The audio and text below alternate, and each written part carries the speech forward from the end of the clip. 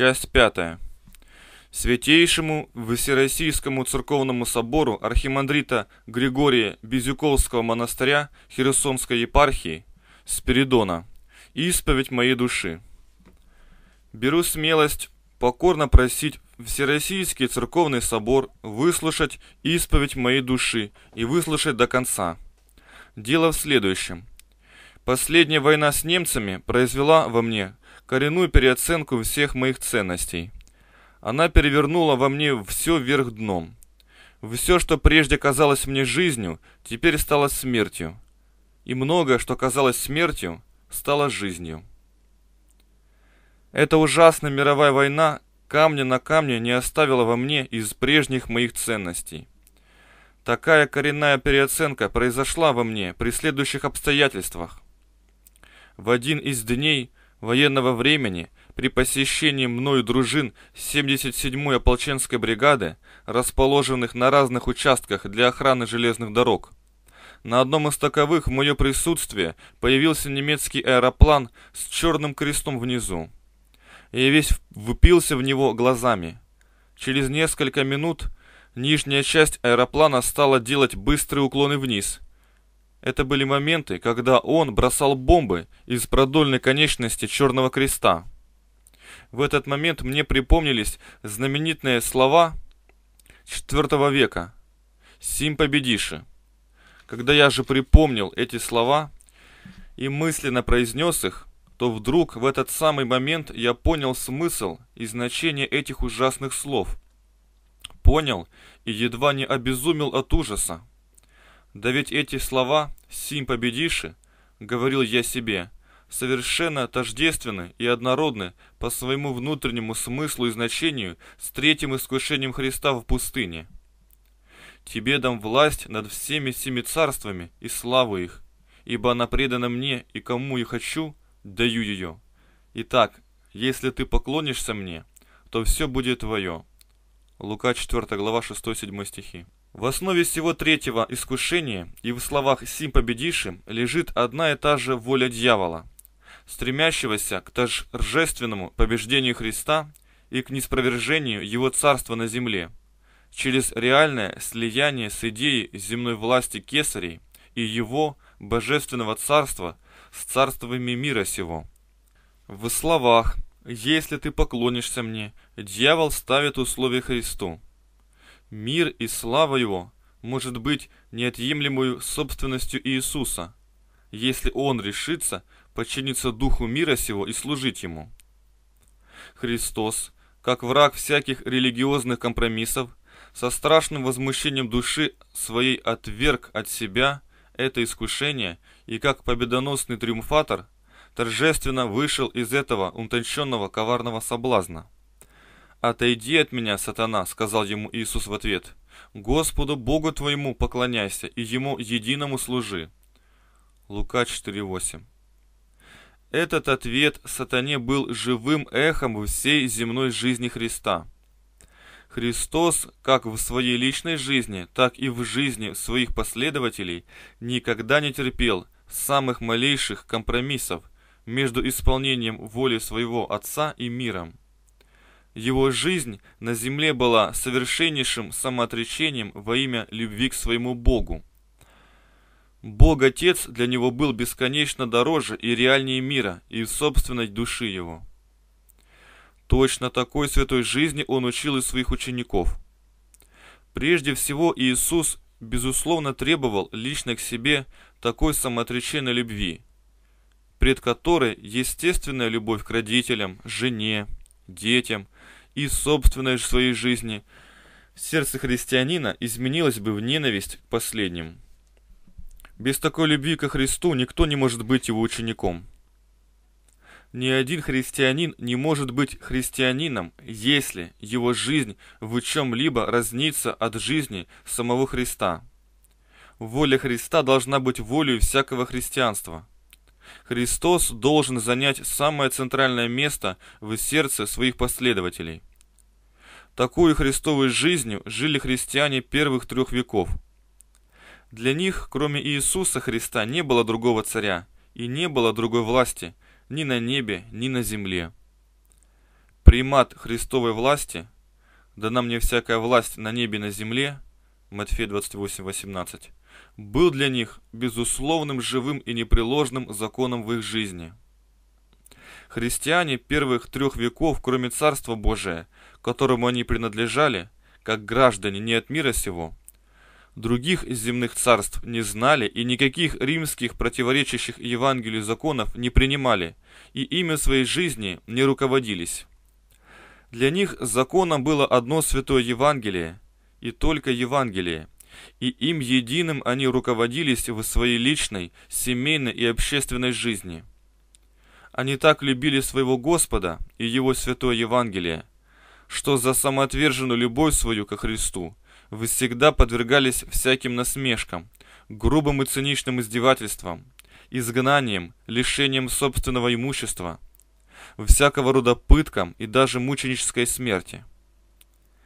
Несмотря на все это, они всех любили и ни на кого не гневались, ни с кем не судились, не блудили, не разводились в своей семейной жизни, за зло платили добром, не клялись, никому не присягали, не воевали, от врагов не оборонялись, на народности не делились, за своих злодеев молились и всем людям делали добро.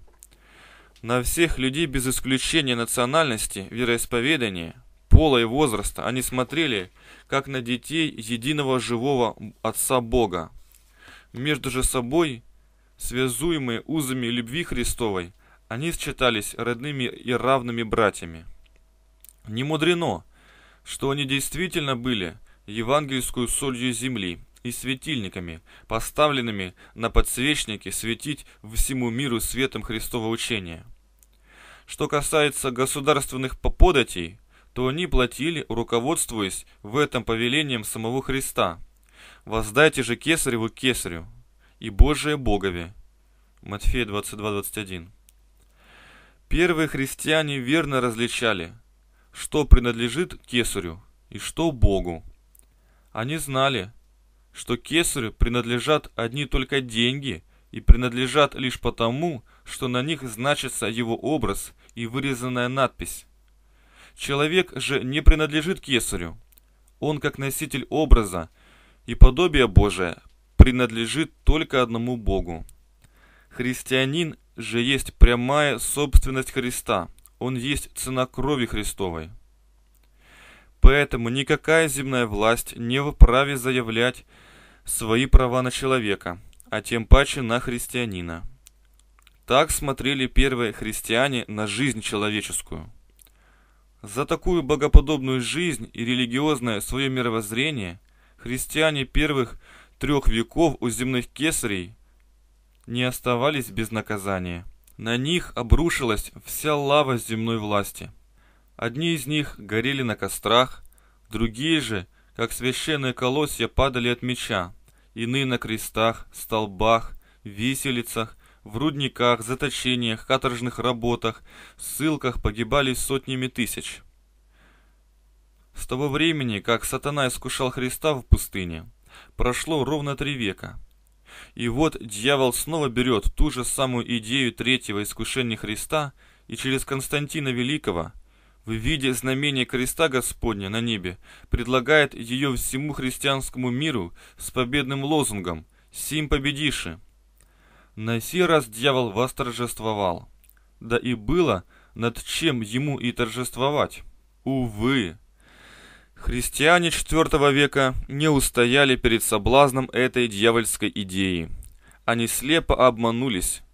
С открытыми объятиями они приняли ее за откровение с неба и вследствие этого подверглись страшному провалу.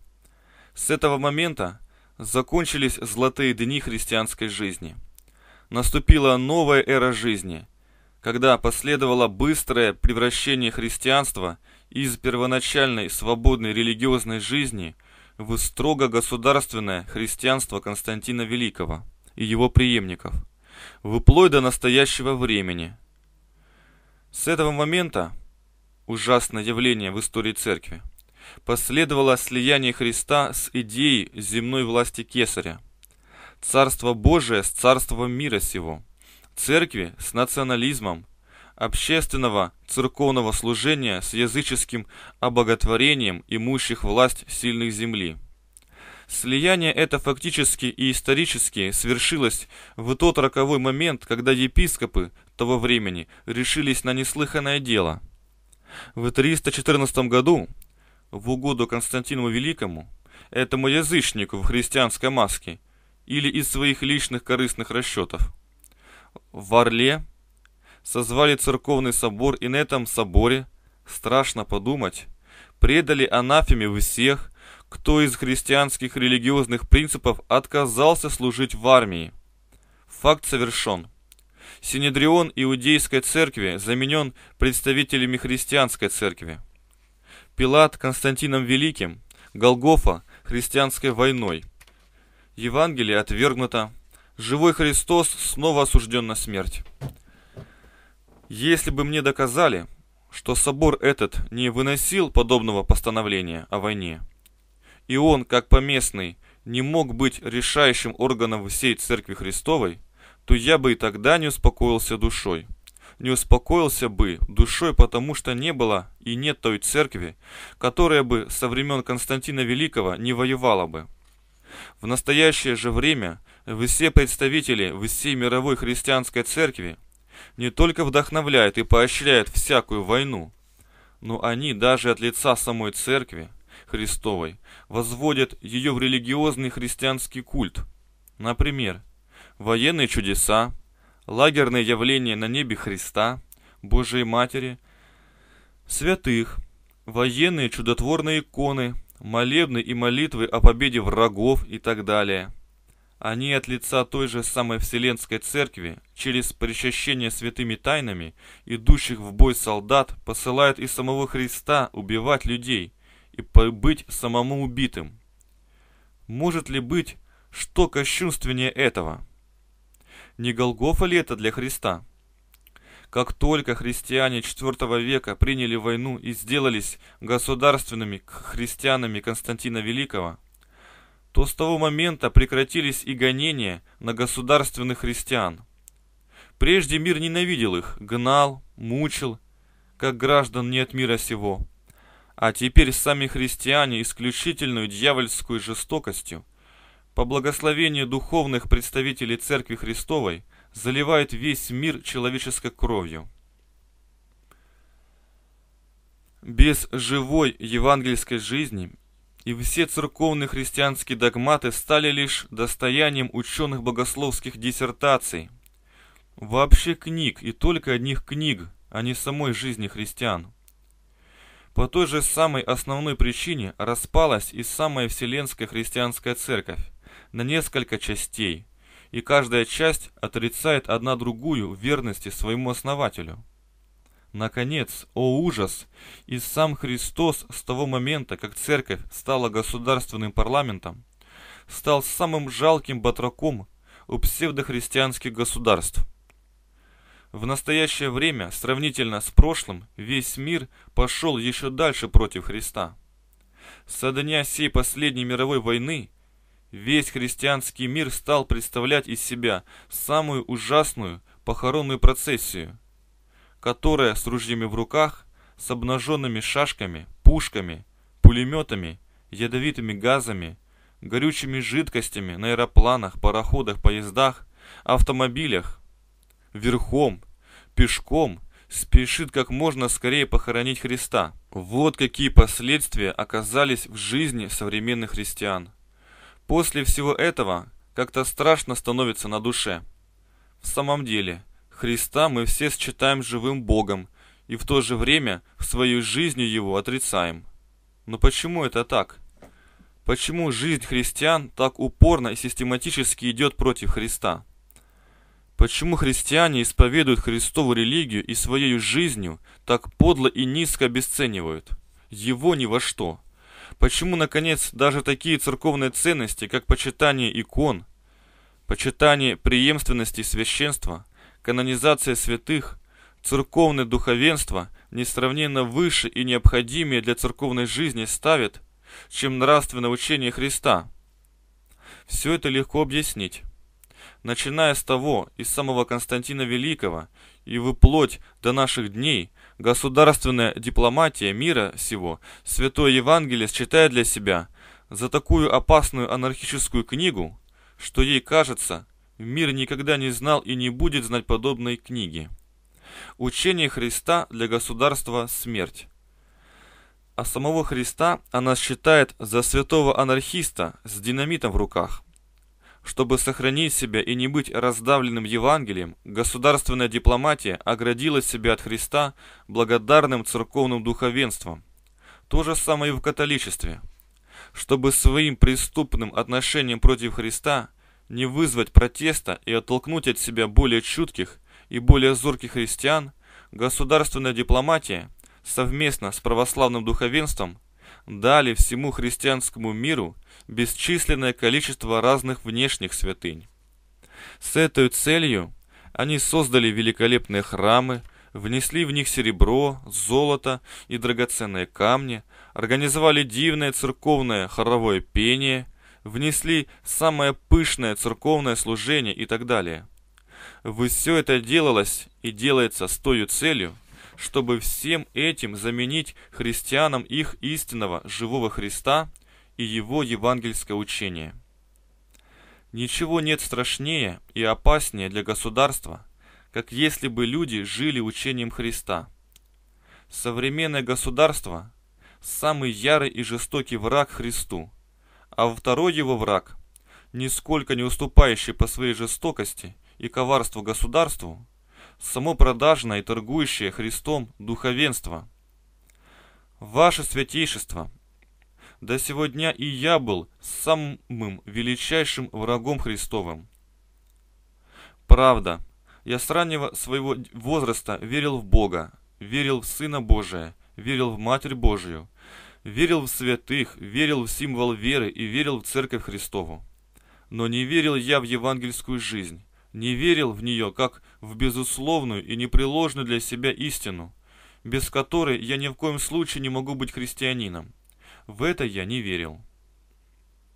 В настоящее же время, в одни всей мировой войны, когда совесть моя ни днем, ни ночью не дает мне покоя, когда она чуть не доводит меня до сумасшествия, когда она призывает на мою душу проклятие неба, когда я решился подать свою исповедь Всероссийскому церковному собору с тем, чтобы перед ним покаяться и заявить ему, что я не могу больше верить в Бога, не могу больше верить в церковные догматы символа веры и так далее, без живой, самоотреченной веры во все принципы евангельской жизни.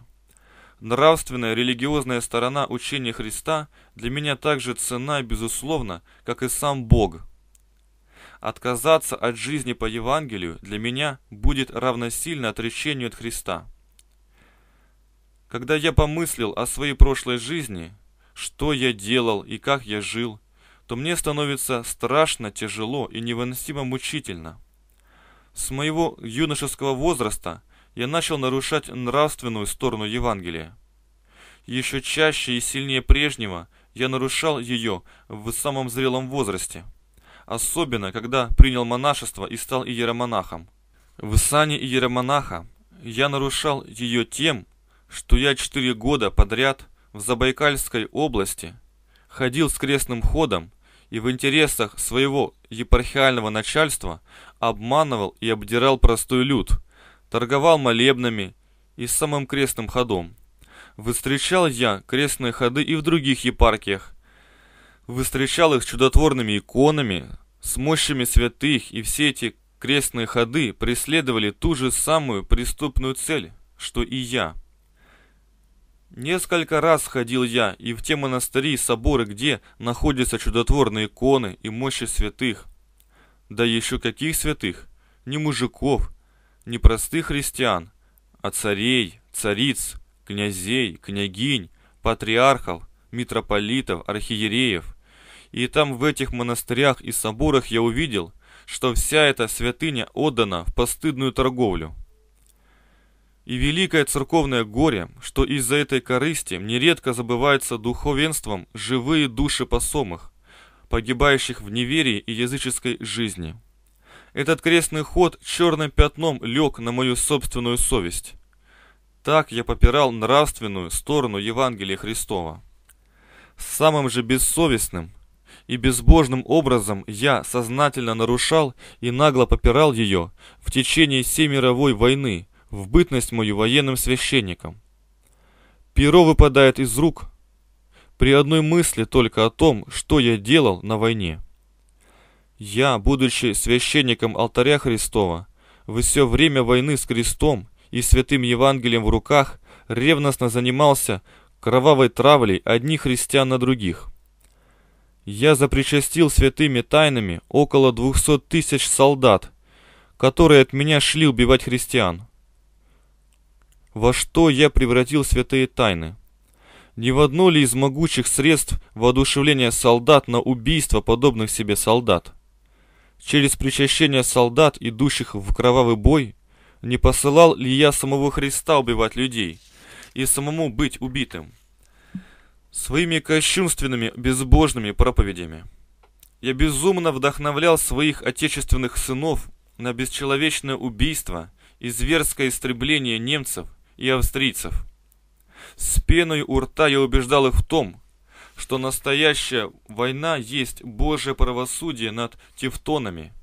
И мы, русские, в купе с верными нам союзниками, в настоящее время являемся в руках Божьих грозным, всеистребляющим орудием его праведного гнева на гордую и властолюбивую Германию. Поэтому мы должны считать своим священным долгом без всякой пощады убивать немцев и железной рукой уничтожать и сметать их с лица земли, как самый вредный элемент человечества. Я мастерски подтасовывал евангельские тексты и исторические факты с той целью, чтобы перед судом христианской совести воинов не только оправдывать эту народную бойню, но и придать ей характер чисто религиозно-нравственный. Действительно, проповеди мои имели сильное влияние на солдат. Побывавшие на них солдаты становились точно разъяренные голодные львы. Такая сильная работа происходила на этапном пункте города Холма. В том же самом духе, хотя далеко слабее, я продолжал свою работу в первой школе прапорщиков Юго-Западного фронта и других многих частях войск. Вот каким я стал безбожным и бесчеловечным палачом многих и многих христианских душ. Теперь же, после появления немецкого аэроплана с черным крестом внизу, за все мои военные подвиги совесть моя беспощадно меня мучит. Особенно меня мучит смертельная тоска по живому Христу. Я ради интересов государства, своей русской нации и личной жизни давно отрекся от него. Исключая детство, почти вся моя жизнь была одним сплошным отречением от Господа. Только с раннего своего детства и до 20 лет своей жизни я горячо любил Христа. Были моменты, когда я растворялся и уходил в Христа, сгорая в нем пламенной любовью к Нему – в то время я доходил до такого духовного состояния, что даже каждая былинка травы, каждый цветочек, каждый лесной кустик, всякое насекомое, весь животный мир, поля, леса, горы, земля, реки, облака, солнце, луна и все звезды говорили мне, смотри, в каждом из нас есть Христос, и я действительно во всем этом находил и ощущал своего возлюбленнейшего Господа. С того времени, как я беззаветно любил Христа, прошло ровно 23 года. Эти годы ужасны. Они из себя представляют бездну зла. Они были сплошным отречением от Христа и ревностным служением князю мира сего. В настоящее же время Христос опять овладел мною. Я его люблю по-прежнему. Он опять стал мил и близок моему сердцу. Я жить без него больше не могу. Он для меня все. Поэтому я ради Христа отвергаю и всем своим существом отрицаю всякую земную власть мира сего. Мой царь, правитель и законодатель только один Христос, ибо ему дана всякая власть на небе и на земле. Матфея 28:18. Ради Христа я отвергаю и всем своим существом отрицаю все существующие римские языческие законы, легшие в основу христианской семейной и общественной жизни, и считаю их за действительную волю князя мира сего, властно преследующего имя Христа и его святое Евангелие. Для меня, как христианина, безусловный живой закон – святое Евангелие, и только Евангелие. Ради Христа я отвергаю и всем своим существом отрицаю всякое государство и всякий национализм. Для меня, как христианина, мое отечество – весь мир. Люди же – дети одного Отца, Бога, между собой они родные, кровные братья. Ради Христа я отвергаю и всем своим существом отрицаю и проклинаю всякую войну со всеми ее свойствами, принадлежностями, церковными благословениями, молитвами и молебнами о победе врагов. И все это я считаю явным и сознательным отречением от Христа и его евангельского учения. Ради Христа отрицаю и всем своим существом отвергаю и проклинаю все свои военные проповеди и считаю их за открытую вражду и измену Христу и Его святейшему учению. Ради Христа и святости и чистоты евангельского учения я отвергаю и всем своим существом отрицаю и проклинаю преступное постановление о войне Арльского собора 314 года и считаю это постановление изменой Христу и открытым отреч... отречением от Евангелия ради Христа отвергаю, отрицаю и проклинаю смертную казнь и считаю ее отречением от Христа и Его святого Евангелия. Ради Христа, истинного моего законодателя, я отвергаю и всем своим существом отрицаю всякую присягу и считаю ее изменой своему Господу, коему я одному и однажды в жизни присягал в таинстве крещения. Ревнуя о чистоте и святости славы моего Христа, я отвергаю и всем своим существом отрицаю то церковное общественное богослужение, в коем имена сильных мира сего чаще произносятся, чем имя Сына Божия, и в коем духовенство молится, о пособите и покорите поднозе всякого врага и супостата, о христолюбивом воинстве и так далее. Все это я считаю гнусным и преступным языческим обоготворением сильных мира сего и отрицанием Евангелия. Ради Христа отвергаю и всем своим существом отрицаю ту сторону современной церковной жизни, которая сознательно идет в разрезе с волей Христа и Его божественным учением. Наконец, все то, что противно Христу и враждебно Его святейшему евангельскому учению, я отвергаю и всем существом своим отрицаю. После всего мною сказанного, я в заключение сей моей исповеди должен сказать следующее. Христос вот уже 16 веков находится закованным в страшные кандалы государственной власти и все время содержится у нее в качестве самого опасного узника – Временами даже все государство нисколько не стеснялось делать Христа жертвой своих интересов. Как на это смотреть? Нужен ли нам Христос или нет? Что для нас дороже, Христос или государство? Ведь двум богам мы служить не можем. Конечно, если мы действительно веруем во Христа и считаем Его за живого христианского Бога, то мы должны все лечь костьми за Него и освободить Его от эксплуатации государством. Если же находим, что для нас государство, церковная наша власть, народный почет, церковная слава, сан, чины, ордена, сытая беспечная жизнь, богатство, деньги и так далее, дороже и выгоднее Христа, то значит мы представляем из себя не только не христиан и не христианских пастырей, но какое-то церковное скопище одних предателей Христа из самых гнусных его изменников. Ничего нет преступнее и подлее, как в одно и то же время быть служителем алтаря Христова, пастыря Церкви Христовой, проводником его учения в народную церковную жизнь, считать себя блестителем законов Христа и во имя земных мирских корыстных целей сознательно предательски относиться ко Христу и изменять его святейшей воле. Вот самая основная причина, почему я счел для себя своим прямым христианским долгом покаяться в своей против Христа преступной жизни.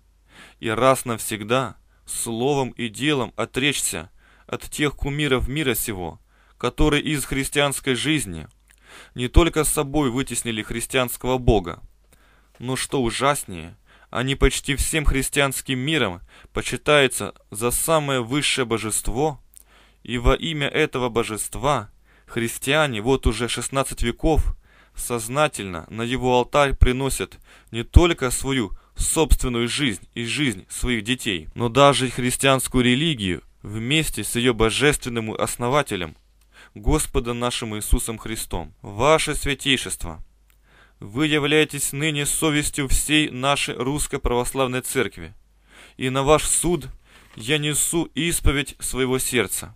Призванный служить Церкви Христовой в священном сане, я желал бы отдать этому святому делу все свои силы. Но совесть моя болит, и от сознания ошибочности того пути, каким я шел в недавнее время, и от тягостного сознания, что в христианском мире и в самой церкви нашей порою Христос Спаситель наш и Его Святое Евангелие отодвигается в сторону, и в жизни не, только царят, нередко, но и благословляется от имени церкви многое такое, что противоречит и учению нашего Господа, и голосу нашей христианской совести. Молю и прошу Святейший Собор Церкви Российской своим авторитетным словом и решением успокоить тревогу моей души, и думаю не только моей, но и многих алчущих и жаждущих Божией правды на земле.